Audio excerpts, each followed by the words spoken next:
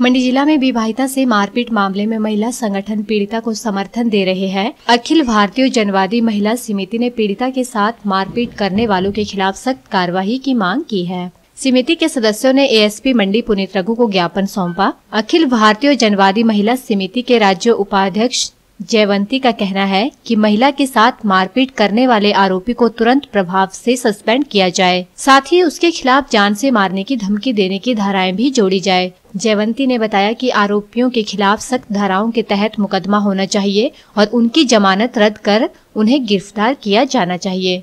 उन्होंने कहा कि देश व प्रदेश में बेटी बचाओ, बेटी पढ़ाओ का नारा सरकारें दे रही है। इसके विपरीत महिलाओं पर अत्याचार की घटनाएँ बढ़ रही है।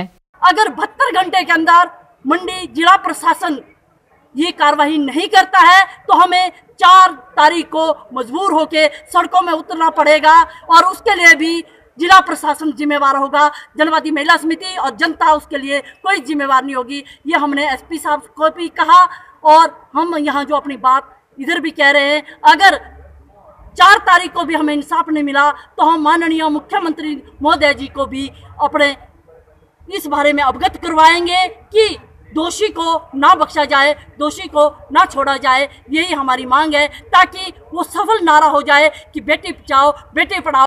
होल स्टार हिमाचल के यूट्यूब चैनल को सब्सक्राइब करें। साथ ही प्रदेश से जुड़ी ताज़ा जानकारी और रोचक कार्यक्रमों के लिए घंटी वाले बटन को ज़रूर दबाएँ और लेटेस्ट नोटिफिकेशन पाएँ।